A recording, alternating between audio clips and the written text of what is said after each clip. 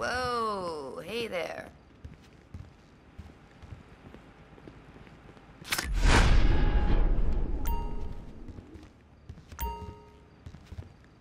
You looking for anything special?